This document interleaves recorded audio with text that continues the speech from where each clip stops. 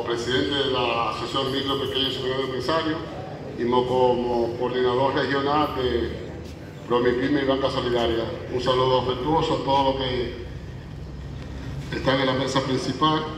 Un saludo a cada uno de ellos. Gracias por estar aquí con nosotros.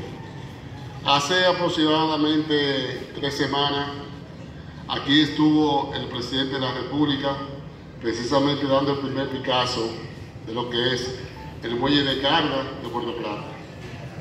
En ese entonces tuvieron muchas instituciones, el muelle de, el, el muelle de. En esa actividad estuvieron muchas instituciones aquí, como es el Sindicato Pesquero, los niños de barcos y otras instituciones, donde el presidente de la República se comprometió a una ayuda eh, muy especial a los, a los, pescadores, igualmente a los niños de barcos, y hizo un compromiso también con las micros y pequeñas, medianas empresas de la República Dominicana, lo cual se está llevando a cabo. Y dos semanas más tarde se hizo una feria aquí en la UAS, donde se depositaron y se prestaron alrededor de 45 millones de pesos destinados a los micro, pequeños, medianos empresarios de la República Dominicana.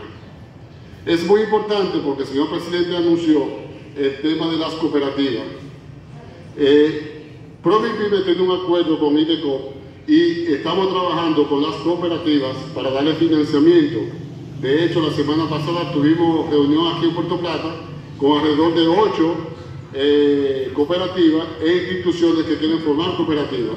El gobierno de nuestro presidente Luis Abinader está empeñado en la cooperación y las cooperativas y crear fuentes de empleo para toda la República Dominicana.